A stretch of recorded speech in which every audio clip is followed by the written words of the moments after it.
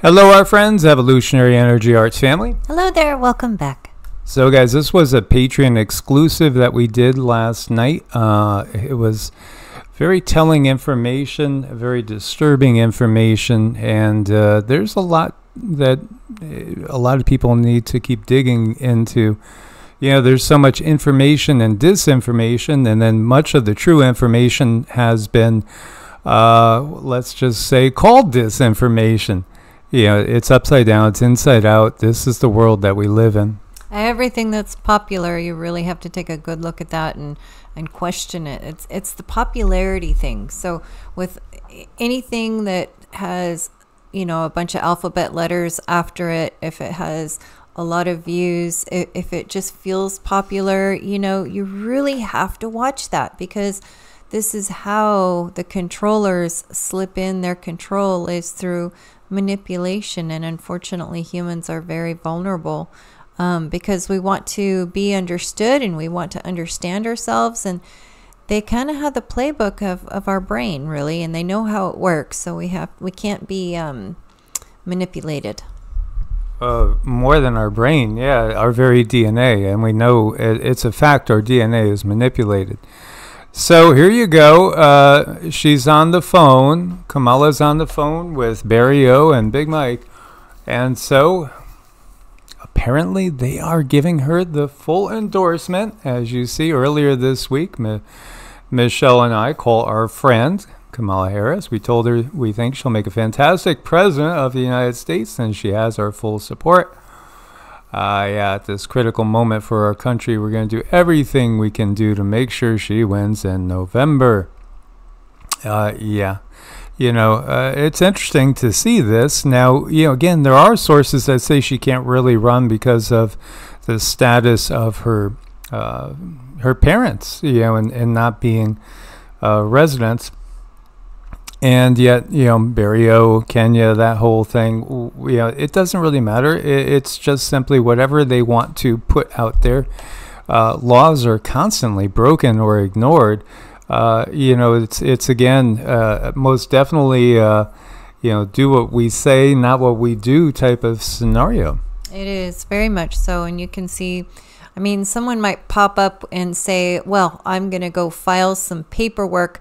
At the courthouse and nothing ever happens. Ever ever ever. I mean they the only reason they pipe up i think is just for for show. I mean it really means nothing.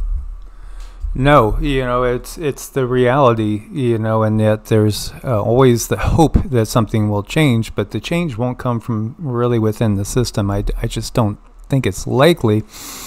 I think you know the change has to come from the end of the system and meanwhile, French high-speed rail network was crippled by massive sabotage, train lines targeted by multiple malicious acts, including arson, uh, ahead of the opening of the Olympics in Paris. So a group of saboteurs, which again, you know, uh, France is just like the United States. There's so many uh, illegals in the country right now, you can't keep track of everything. But part of uh, the big purpose behind all this is that they want to keep track of everything. They want to keep track of your bank accounts. They want to keep track of, you know, not only where you spend your money, but where you're even thinking of spending your money. Uh, again, it, everything is is to be completely monitored in the system to come. This is what they are really working towards. You know, not that most things are are monitored already to such a high degree. So you have multiple um, saboteurs setting fires, stealing cables. Uh, yeah, I don't, I don't think we've seen anything yet, really. When you still look at the situation that there are tens of millions of, of illegals inside NATO countries at this moment, there's still probably a lot, a, a lot of them waiting for cues on when to go and carry out certain uh, activities that they knew they were coming in to carry out in the first place. Yes, again, most migrants, immigrants are just uh, people that are caught by circumstance and caught up in a whirlwind, are promised things and are just looking to better themselves. But again, if it's just 1 to 10%, that are coming in with the knowledge that they're actually here to do particular jobs, that's still a huge, huge, massive amount of people waiting uh, to be triggered. I totally agree. Russian warships are going back to Havana uh, for another port visit this week. By the way, China has a military base in Cuba, which you know has been leaked. China has a, a base in, in the Bahamas too. In case you hadn't noticed or heard of that, we've talked about that in the past. So you know what's happening is NATO encircled Russia and China, and now uh, we are being encircled ourselves. And how will this play out is the question. What scenario? Is it going to be Ezekiel 38 uh, in a biblical sense where uh, you know the BRICS nations are going to play uh, the Gog and Magog uh, part? Well, if that's the case, then then they get decimated because of technology which the world hasn't seen yet. So we, we have to see, you know, how this is going to unfold. And meanwhile, i the the mud flood, the uh, the wiping away of this particular uh, civilization is underway. And you know, again, it's it's not just the floods; it's the fires too. And so, one of our family members lives here, and uh, Zeke from Canada uh, lives up in Jasper, and this this city is a large part of it is is no more. This historic town. Massive massive fire uh, blocks and blocks of buildings destroyed. Uh, the fire was hundreds of feet into the air. Um, some reports are saying the third half some some people are saying it's pretty much all gone. Um, I don't know. I think we just reached out to him and see what if we could get his take on what's going on up there. You know, we've seen so many of these. You know, we we have so much to keep up with. Y- you forget what's going on in, say, you know, uh, Maui, or how about you know other areas like Libya where they had that huge flood. The earthquake, uh, you know, over in Morocco. It, it's just been so many things to keep track of, nonstop. It it really is kind of an impossible thing to keep track of. And uh, here we have the park fire. Now, well, last night when we made the uh, Patreon video was at 70 something thousand acres up to 120,000. Uh, again, arson. This we know this is arson. And what about when all these sleepy cellular units are triggered? Uh, how how crazy will it get? Here you have a U.S. Senator Josh Hawley let's uh, listen to his words. You know, things are relative. Things are relative, and and we have to recognize that. This is a rich man's club. That's the. In other words, he's saying Congress. In case you missed that first word, Congress, the U.S. Congress, is a rich man's club. Congress is a rich man's club. That's the problem. That's what we're trying to fix. I would suspect that I probably have the fewest assets of anybody sitting on this dais. I'm not a rich man. I'm. He has two point seven million dollars. In my mind, he is a rich man. You know, and in fact, but but look look at what comes next. Those to my left. So I mean, listen, the American. Yeah, three hundred twenty-seven million. They they are insider, tr- you know, traders. This is the reality they know everything that I mean it, it's betting with house money. They're betting with your money and they're getting rich. If you if we really think that we could take a corrupt system because this is so corrupt and it's not just the US it's all the world. Um, but you know maybe we are at the pinnacle of, of corruption uh, again. It, it just shifts from one spot to another. Same thing with Rome. The decadence that was Rome is the decadence that is the U.S. now. It's just what the system does. Greed corrupts. You know, I, in my mind, nobody in the world needs 327 million dollars. Uh, that's just my mind. I think it's just greed. It's ego. It, it's it, it really does destroy the soul when you are in in charge of so much energy that can do so much good, and instead it, it's being used uh, for dark means, and people still suffer. People still go hungry. St- people still go homeless. You know, again, it's that Jesus parable with the rich man's son. You know, hey, I love your teachings. I think you're awesome. What should I do? Well, you know, you're a rich brat. You need to sell everything, give it all away, and then we could talk. Oh, I can't do that. That's the reality. It's the same reality with our, our you know legal system and our uh, Congress. They're rich and and they're corrupted by that. They're not going to give it up. They don't want to really give it up. No, they don't. And they're going to keep investing in those things that uh, make them powerful. And we have to remember and turn that around and realize without us, they don't have the power. We, we really have to keep that in mind because it's where do we spend the money? Where do we put our energy? We have more power than we think.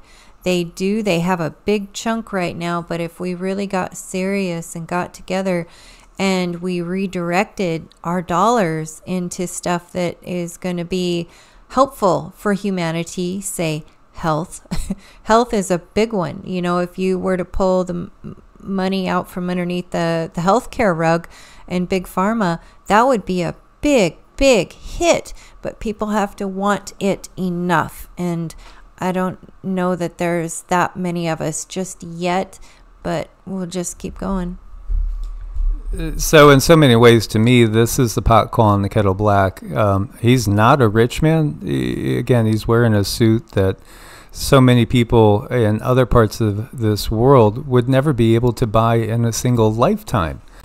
Uh, when we look at the median household net worth in the, in the United States is $192,700.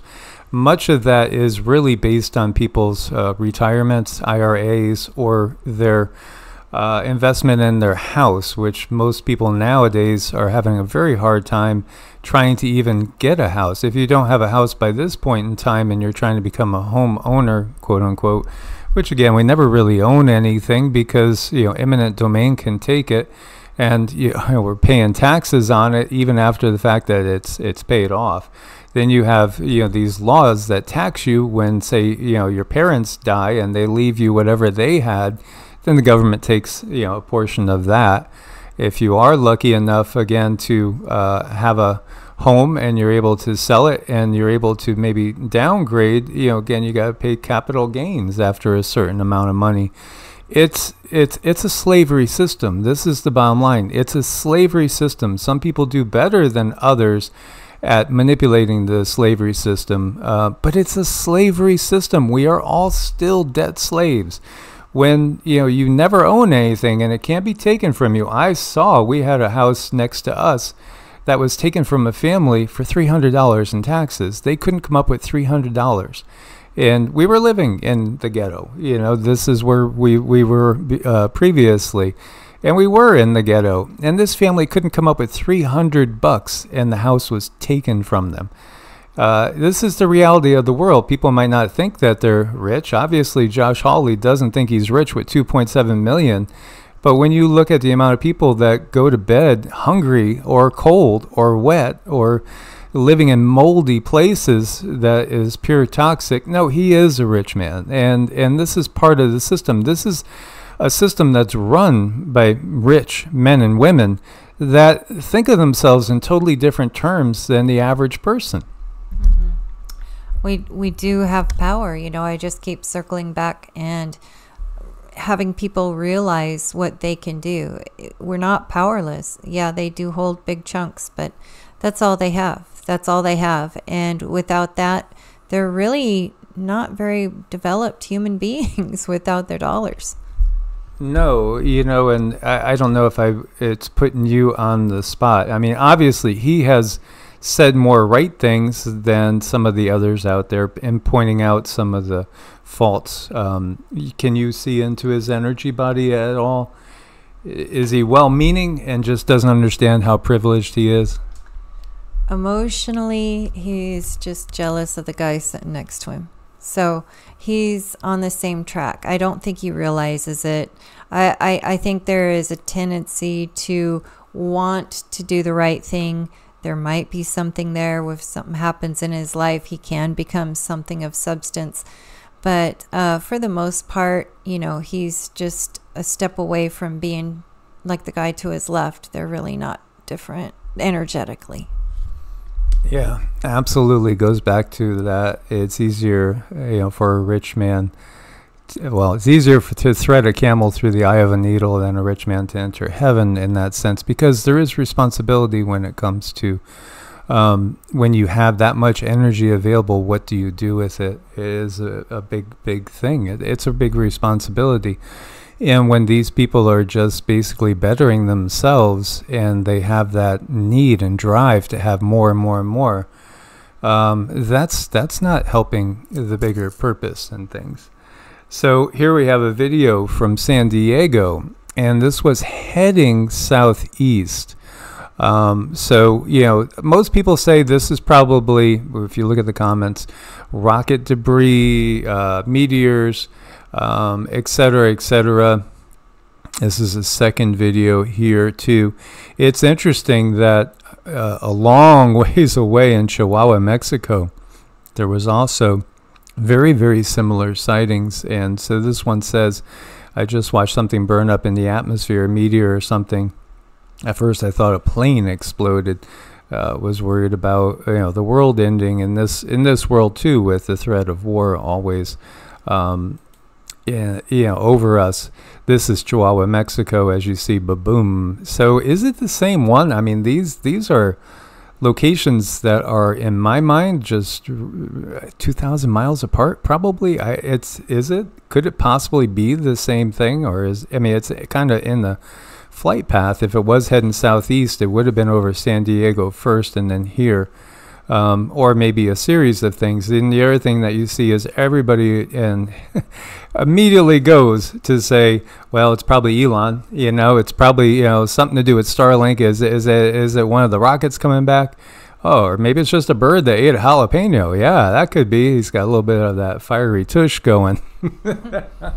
I don't know. I, I look at it and I, I keep seeing it's like a, a crash, a very big crash, and it is space junk, but not from anything that we could physically see unless something happens and it gets blown up and then the uh, ability to camouflage itself is gone so then you see the debris falling it could have been something very very big and that's just what i what i keep picking up on that well, the thing is, too, a lot of times we have this tendency to say, "Is it is it you know human made? Is, is it one of ours? Is it just something that you know Earth people made?"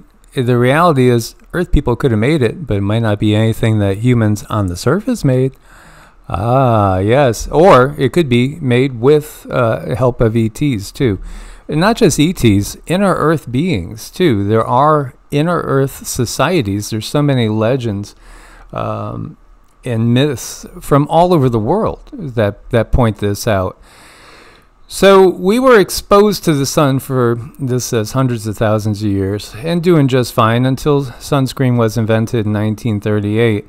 Since then, melanoma rates began to skyrocket in the 50s, yet people blame the sun rather than the toxic chemicals you know, when you look at it, these things are toxic, and you know these are a little bit safer. Obviously, zinc oxide, if if you must put something on, but you are in also going to be uh, inhibiting that process, which leads to ascension, because the sun is key, and it's so weird because the weather here was brutally hot for so long, and that's to be expected in the summer, uh, in the deep south, and you know again then we go to flick a switch and it's nothing but rain again. Well, as we know, they want to block out the sun because the real controllers are very much like vampires and they cannot stand the true light of source. Uh, they cannot stand the fact that we're ascending. And it is painful to them because, you know, truly the power structure here on planet Earth really does come from the deep bowels of hell, so to speak. Uh, that, that hell is brought to us via Mars again via that uh, invasion of the uh, of of our world that happened thousands of years ago and is really it is uh, noted in pretty much every culture around the globe. If you look closely, you will see that they talk about beings coming to the earth from the sky uh, that imposed a new system of governance upon the earth.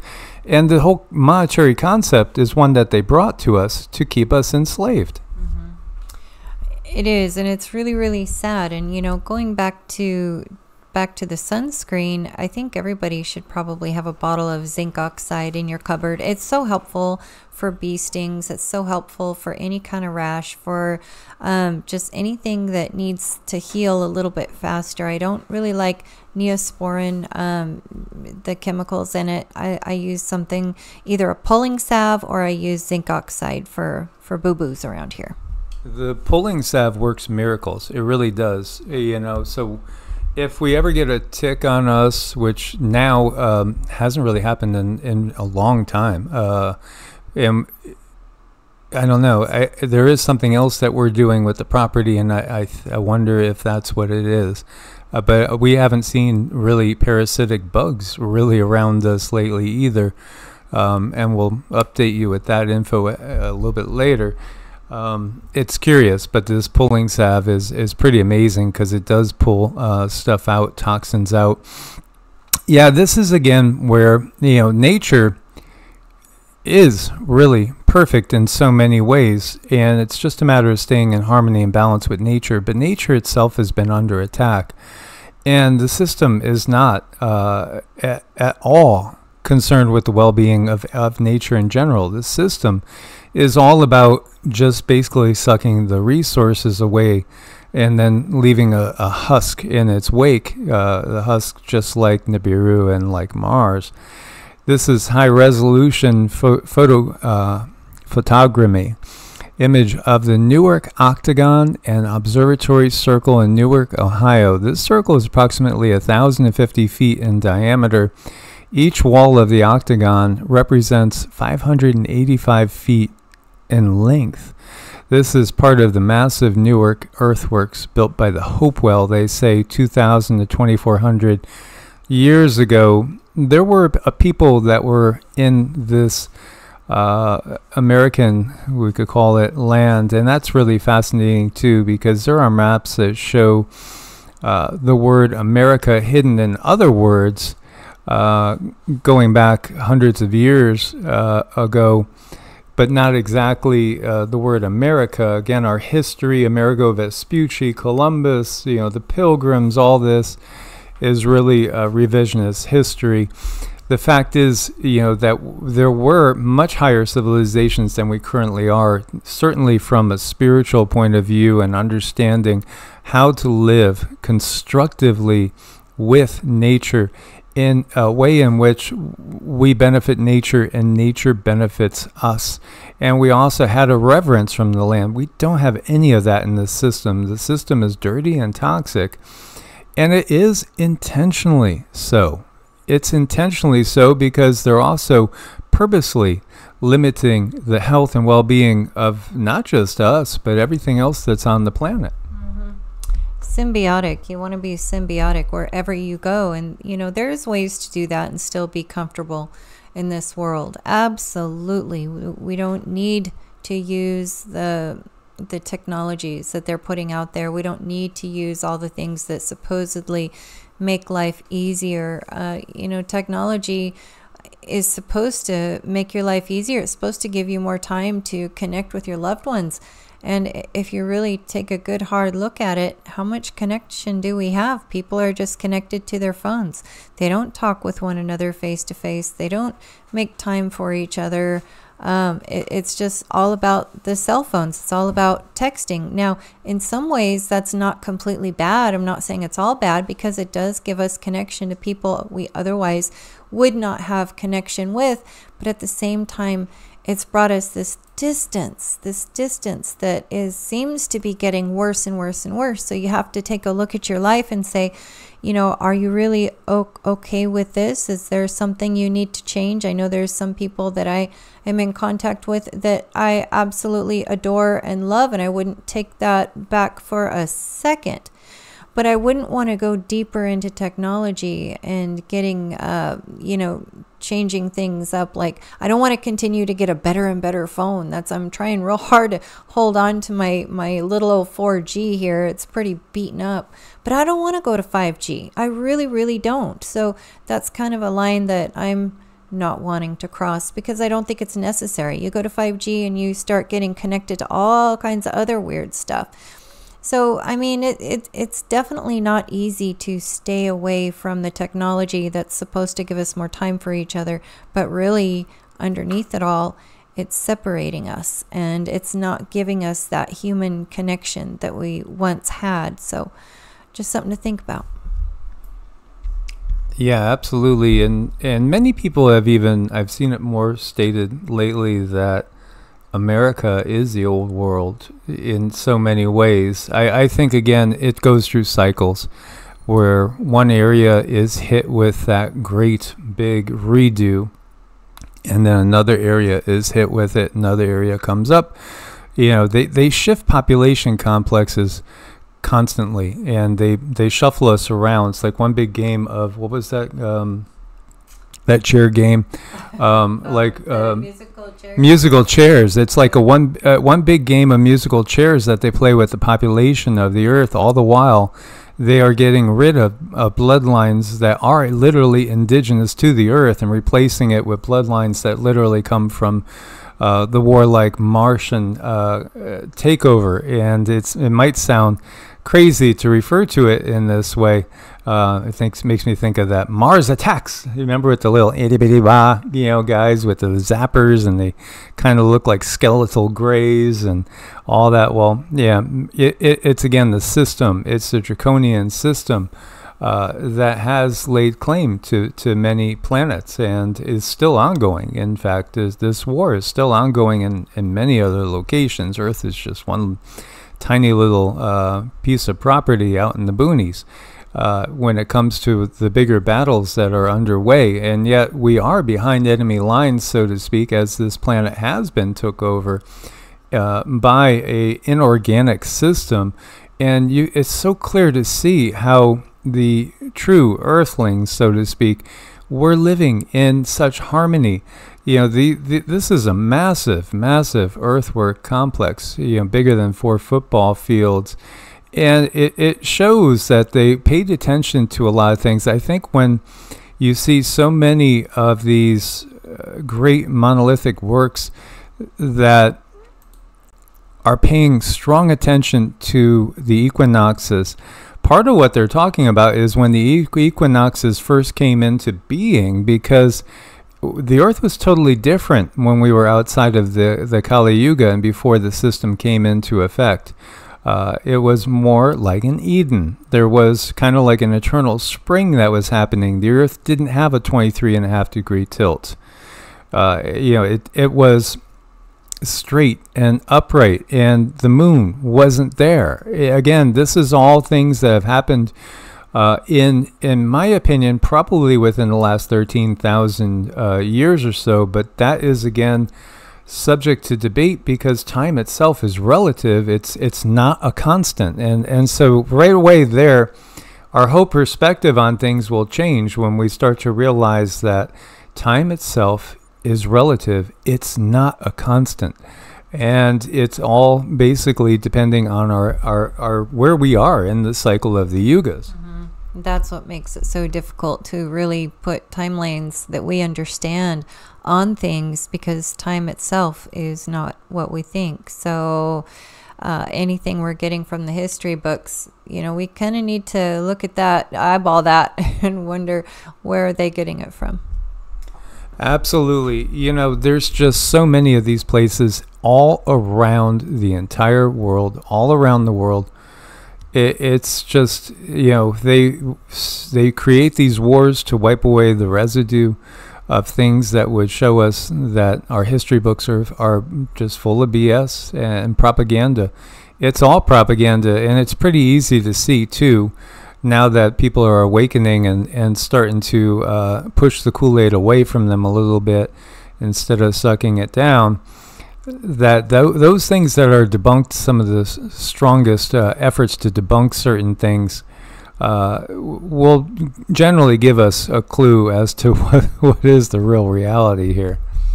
Indeed, and these guys are having a whole lot of fun in their reality. They're getting together, they're playing, and they're doing this thing called jumping fun. They're going to do it all day long. They're so cute.